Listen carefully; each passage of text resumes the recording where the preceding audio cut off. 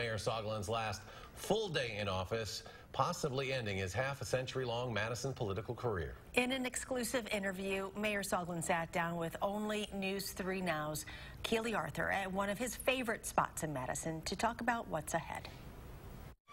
I get over here about once every quarter, three, four times a year. Madison Mayor Paul Soglin spending part of his last day in the role at a place near to his heart, the Meadowood Neighborhood Center. It represents the greatest challenges and the greatest successes in our community. Soglin says the community center and adjoining library encapsulate just how far the city has come in improving race relations. We were one of the worst cities in the country in 2011 in regards to racial disparities. At the time, he says African American unemployment was almost 27% and is now under 7%, according to census data.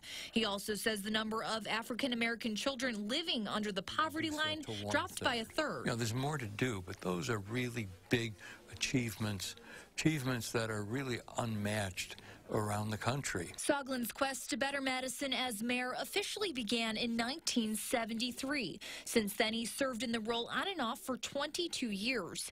His administration is responsible for the construction of the Monona Terrace and turning State Street into a walking mall.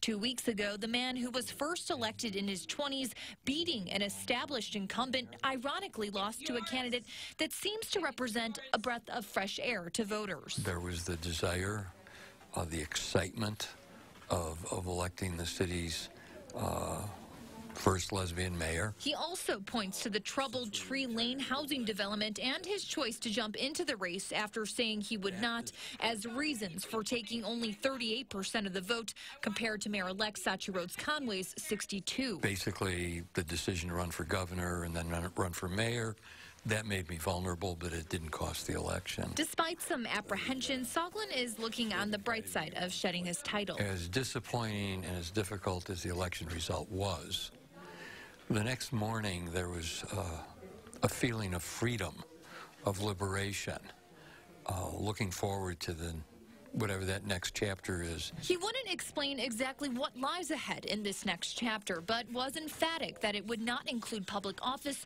or another run for mayor. I've said that twice before. I think this time I can say it with confidence.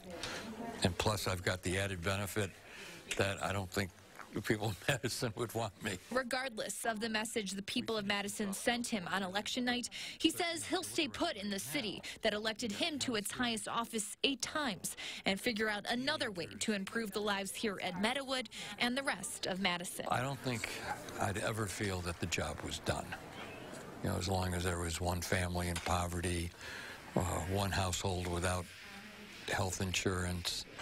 Um, but looking where we were at and looking at the change that took place, I get great satisfaction. That was Keeley Arthur reporting.